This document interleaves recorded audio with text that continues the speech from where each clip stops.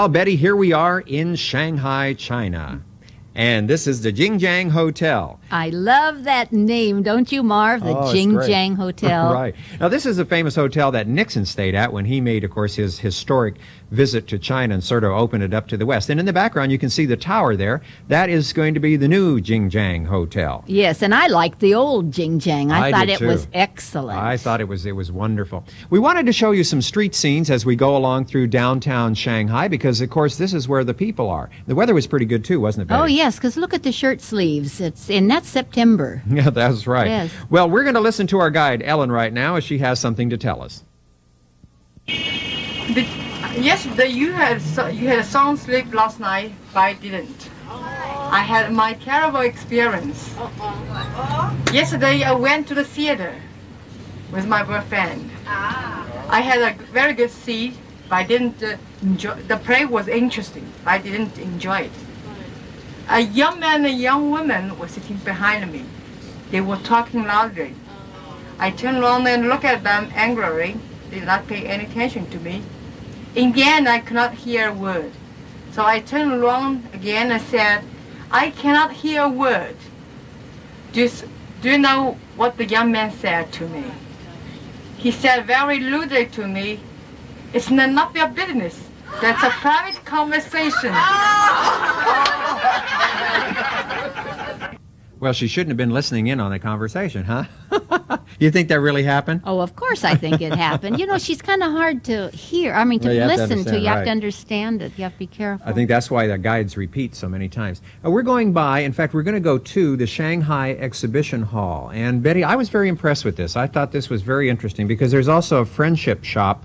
That, oh, that Oh, was that's a hard one. friendship shop, right? Yes. That we're going to go into too. But the outside of this building, in fact, one night uh, I met some college students in Shanghai, uh, and we all went to dinner up. There's a restaurant up there on top, and it was very, very interesting uh, because the service was a little bit different than than what we'd had before. But I thought this was a beautiful building, and uh, it's too bad that the fountains weren't going because these looked like they were glass uh, fixtures there. I don't know whatever you would call them, but they were they were quite beautiful. But inside is where we saw wonderful treasures. This is marvelous. As you walk in the front door, this is a red carpet treatment, Mm-hmm. actually, a beauty. It doesn't show as much in the picture here, but the rug was just beautiful. Right. And the artwork inside, everything from carvings to, well, you name it. I think it was, now you could actually buy things here. I, I thought at first it was just going to be a display, but it wasn't. No, this is run by the Chinese themselves. It's like a friendship store what we had in Russia, Mm-hmm. where it is uh, you you are guaranteed your prices, you're guaranteed your product. And they were quality products there too. Well, you take here now this in this little area, they're just selling fans, and that's that's all that they have there. But I was impressed with a lot of the porcelain that uh, I saw here, and uh, some of it, Betty, it looked to me like I don't know if you you got there because by the time we got in there, everybody just sort of went their own way because there was so much to see, and a lot Very- of people want to buy things. But here, these shots here that we have, this porcelain bowl, that, that it looked like it was as thin as an eggshell, and how they could do such delicate work like they're doing right here. You're so tempted to bring these back, but they, they, uh, the fact that they are so delicate makes you think, how will I ever carry them and get them home safely? I did get some porcelain home, as a matter of fact, and then broke it after I got it here. oh my goodness! oh, but that does happen. But I did get it home safely. And ivory, of course, that you can see there, which is probably illegal in many countries. Hey, right now, let's uh, join Ellen back on the bus. Too of the Imperial Garden. And the building uh, looks elegant and it covers a large area. And the and the Yuan Garden is a representative of the private gardens. And we have a lot of private gardens south of the Yangtze River. That doesn't mean they're nine times centrist, because nine was the largest odd number, and also in ancient time, it was the lucky number. Use nine, you can avoid the evil spirit. And it is said, if you pass the nine layers, you can be in the paradise. So we're going to pass the la- nine layers into the paradise. And the building over there, that's the tea house. It was built in, yeah, oh, in in 1870s, and converted into the tea house in the 1900s. So it is called Enjoy Yourself Tea House. Uh-huh. In the morning, you can find a lot of people relaxing and chatting each other over a couple of teas. above had the three wooden tablets. The first one is called Mountain and Forest in the City. Since Shanghai is lying on a low plain, there's no mountain and forest in the city. So the owner built this beautiful garden with plenty of trees and flowers and rockery to imitate the mountain and forest in the city. Hence the name. Second one that has something to do with the religions. That means he, the family member worshipped the ancestor to bless them to have a abundant harvest. The last one is name of the hall, Three Corner Hole. Here is one of the features of the garden. Sculptured, brick sculptured window, brick sculptured window. That's all made of the sculpture.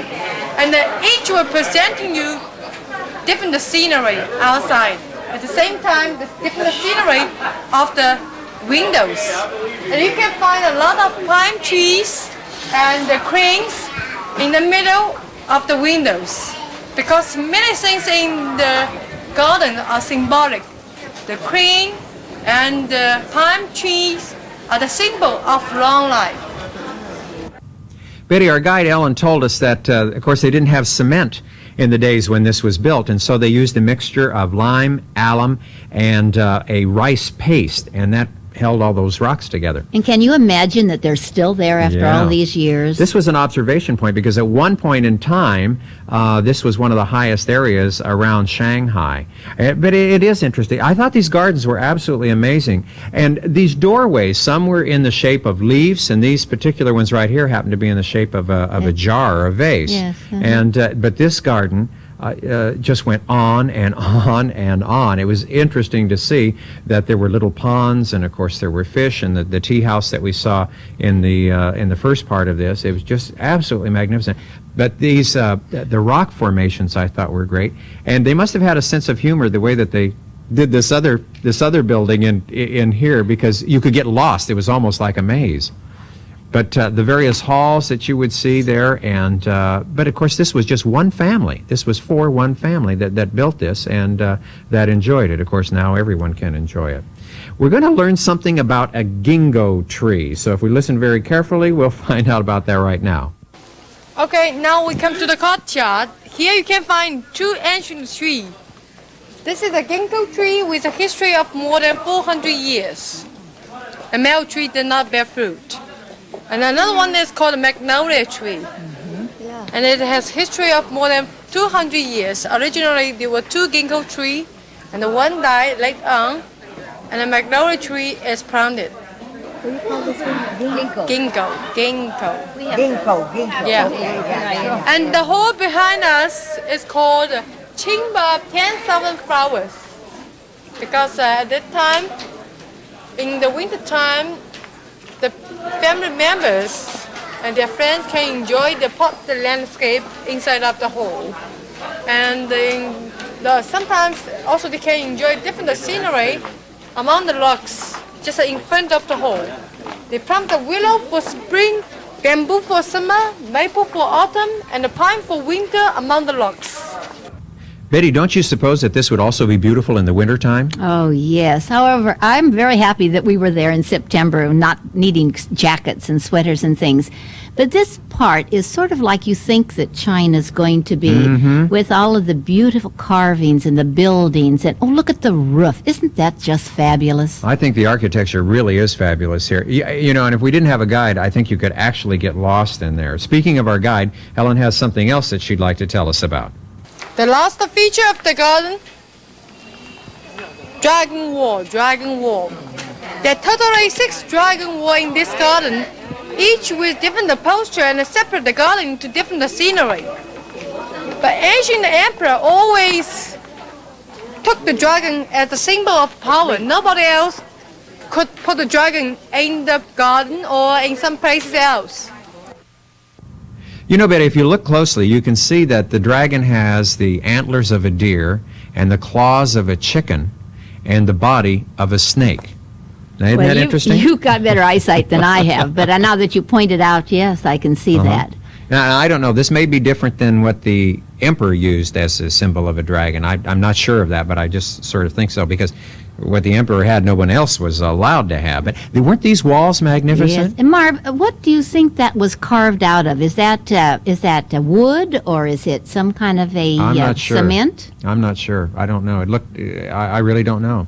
But what amazed me again, as we talked about just a moment ago, was all of this rock work and then held together with that glutinous Yes. rice mixture. You know, and was like the you say, rock still there, or do you think, or was it brought in? I don't really know. I, I suspect because it was a garden built for this family that it was probably brought in because this was not the only place in China that we saw this particular type of rock. So I believe that it was brought in from another province where it's probably very, very prevalent. oh, think of the man labored into that. Oh, hmm? really? Yeah. And here's some of our adventures. We did walk a lot. This garden was very, very large. And of course, it was a nice warm day. So here's some of our adventures that were just taking a little bit of a breather, I think, which we needed. Oh, the bench was most welcome. Yes, indeed. And we must say, too, that the day that we were there, there were several other people that were there, a lot of Chinese, a lot of other tourists uh, from other parts of the world as well. Now, here's a little area that you could actually walk through that was made out of this, this rock garden. And in one of the, one of the little courtyards there, uh, Ellen explained to us that you should be able to see monkeys and fish and other animals. Uh, we just saw a monkey. Did you see it? At least That's what it your looked like imagination can tell you sure. that. Well, I think that's that's what it is, and uh, so that made it very interesting. But we spent a good part of the afternoon there. Now we're going to leave the garden, and Betty, I'm just going to let the camera roll and sort of right at my side, so it's going to be a little more jumpy than it is because I wanted to get some shots of some of the people. You, we saw people just eating, squatting, and eating right there on the sidewalk and, on- and on the streets, and so we wanted to get some pictures of that. But I didn't want to embarrass anyone, so I just wanted to sort of keep the camera uh, rolling that way so that uh, no one, well, right here you can see, you know, that, and uh, so it's a little bit jerky there. But there were a lot of people as we were as we were walking away and walking back to the bus, and uh, I thought this was most interesting because it's so nice to be right there in with the populace as well. And look at the look at the The clothes that people- all oh, the this is have. what this is what really amazes me. The clothes hanging. This is how they dry their clothes, of Yeah. course. And this is not just in China. This is in many European countries. They dry their clothes by hanging them across. Well, you can see that those those uh, racks right there are made permanently just to just to hang the clothes on, and that was one of the things that did amaze me when Mm-hmm. we first got into Shanghai. I thought that was uh, rather unusual. I guess it's unusual because we're not used to it. no, nothing very. Nothing is personal there. You. That's right. Well, now we're going to go for lunch, and we're going across the famous Iron Bridge. And right there in front of us is the Embassy of the Soviet Union with, of course, their antennas all over the place. In 1937, the Japanese invaded Shanghai, and they took as their headquarters the Shanghai Mansions Hotel. And uh, this is a, a rather large hotel. I was very impressed with it. We had lunch here, and uh, it's right on the edge of the of the waterfront. Right there, it, it has a very nice location, I thought, and we had a very delicious lunch there. The uh, if you remember, Betty, did, I don't know if you saw the picture, the Empire of the Rising Sun. And when the people were trying to flee the Japanese, the, the street scene was was right here on this Okay. particular street where our adventures Well, are our leaving little our bus. people are going across right now. That's Hmm? right. Let's go see what Jim Scott has to say about how he enjoyed his lunch. Jim, here we are in Shanghai, and you just had a Shanghai meal. What do you think of it? You know, we've been eating quite a bit, and I think these, this stuff is getting to be, we're getting used to it. Do you think that the food from northern China and the food from southern China is a little bit different? a little bit, a little bit. It is. It, it's and it's uh, a little more tasty sometimes. I think. See? And it's they're getting to be more getting to, to the point where the uh, the food is getting Western-like mostly. See, More that more of what we're sort of used to, right? that's right. That's right. See. Well, what do you think of Shanghai so far? Well, what I've seen so far is really intriguing. I, I'd like to see more, and I hope that we can see quite a bit. And I was interested in that, uh, in the, that rock formation we had, we saw today. It was really something. And we, we so far, everything looks pretty nice. I think when in the old days, this must have been a pretty rough city. For as good as I, you know, as much as I know what you're about. Well, what does everybody think of your Shanghai food? But what do we think of the Shanghai food? We think this this particular restaurant was excellent. We've enjoyed a lot of it. Oh. Did, Mamie, did you notice a difference between uh, the food in the north of China and the food of the south of China? Yes, yes. Which is your preference?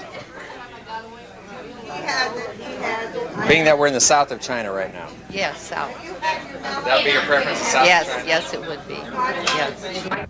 Well, I did think that there was a difference between the food from the north and the south. Did you, Betty? Well, I'm not that good a judge, you know, of food. I can take it or leave it, whether it's north or south. But yeah, I, I, because it, when we got into south of China, it seemed like uh, it was more of the Chinese food that, that we're familiar with here in the United States. This area, I believe, is called the Wai Tan area. The hotel that you see up there uh, in front of us was built just before 1920. And the area uh, that we're looking at, it was we're sort of a side view from it, is called the Bund or the waterfront area.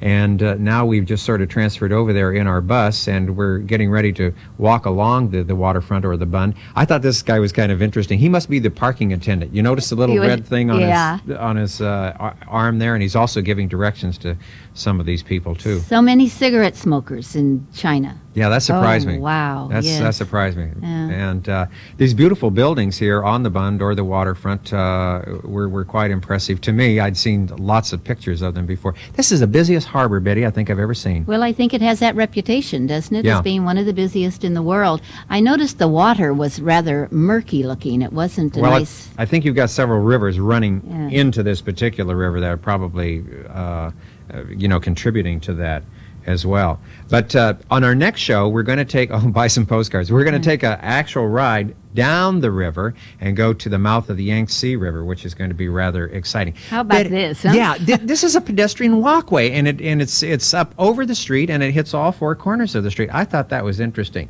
Let's listen to Ellen as she explains something to us. Many people practice English on New uh, yes on Sunday, and uh, because now English speaking become become the national sport, and also used to be part of the race course before 1949. And that's Park Hotel. We're going to have a lunch tomorrow.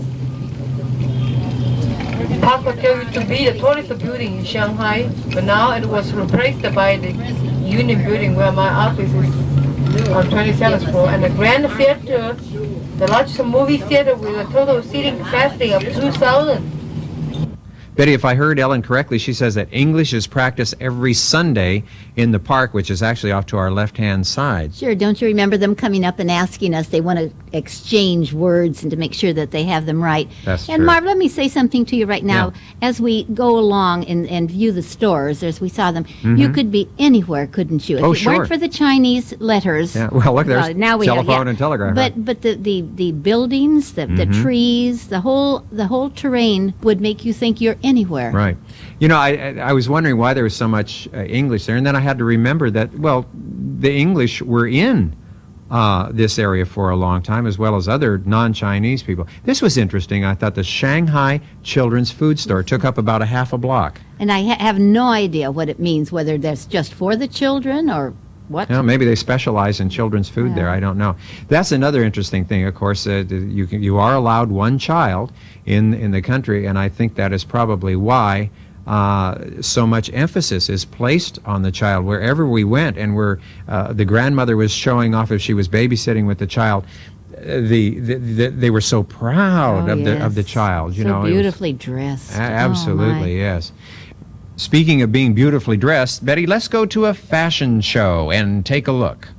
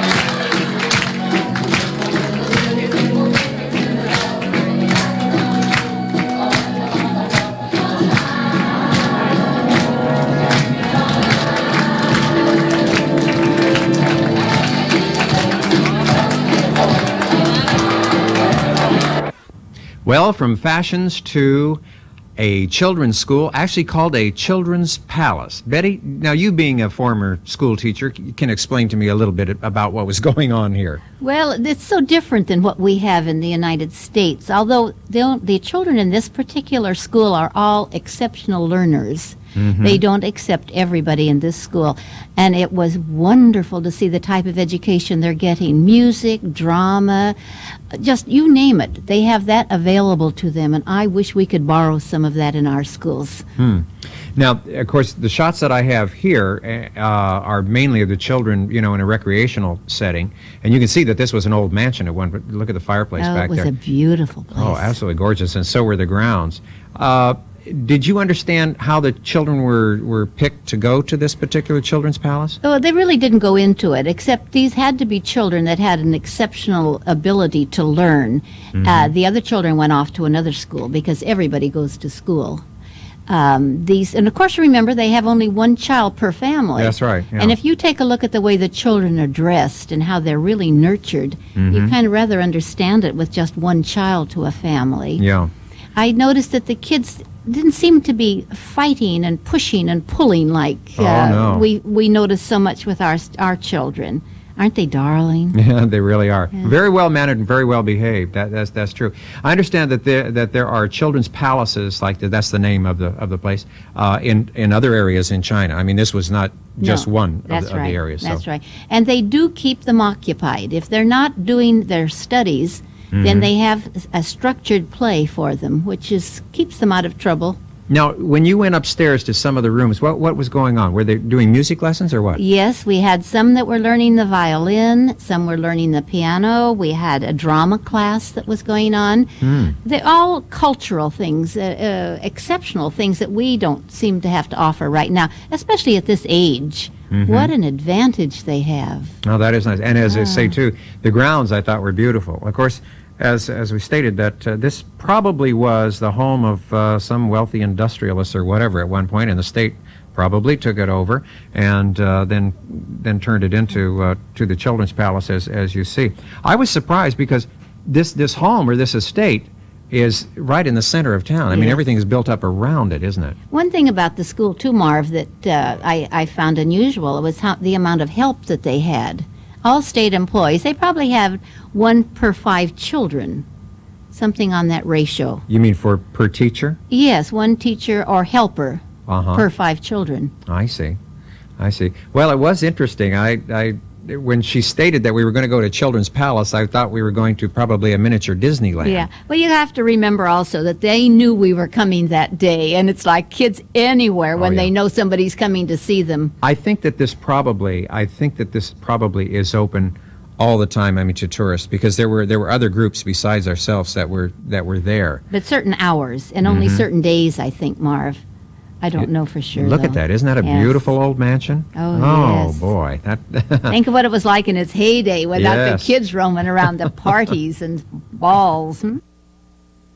I just keep thinking that this is uh, such a beautiful mansion, and that uh, in its heyday it must have really, really been something. Want to remind everybody too that we do have some exciting trips coming up, and if you're interested, just give Betty a call at 488-7443 or drop her a line at 1550 North Fresno Street, Fresno 93703.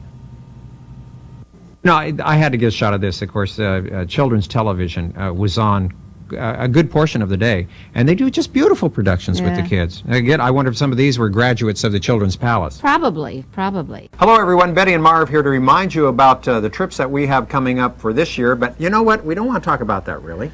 We don't. No, we want to talk about the stuff that we're planning for next year for the year 2001. We, Oh, Marv, we're just getting almost to a point where I've got things all in order now. We're going to plan for next year, right? Right, yeah. Okay, Gotta if you say so. ahead, you know how it be is. the boss. Anyway, we want to go back to China. And Yes. if you would like to go with us, why don't you give Betty a phone call and say, hey, I'm a candidate for China. We'll also, of course, go back to the Holy Land. We're thinking about England, Ireland, and Scotland, Turkey, and South America. So if any of those interest you, give Betty a call and say, hey, Betty, I'm interested in going on one of those trips. We don't have the brochures yet. These are all in the making right now. We're Right. these are we're fomenting for next year. And so, if you, in fact, you might have an idea of places that you would like to go, that would give us an idea for the year 2001. I, I, I'm probably talking too much, like I always do. But you know why we're going to China? Is because they are. We go up to Guilin and we take the cruise, and we're going to go to Mm-hmm. the Three Gorges, and they're going to dam that up, and this will be the last time anybody will be able to see it Right. within the next three years. So all of this magnificent part of China will be lost to everyone. So we want to get in there before this happens, We want to see it before it's all covered with water. and we want you to see it too. right. Give Betty a call at. 488 7443. Thank you.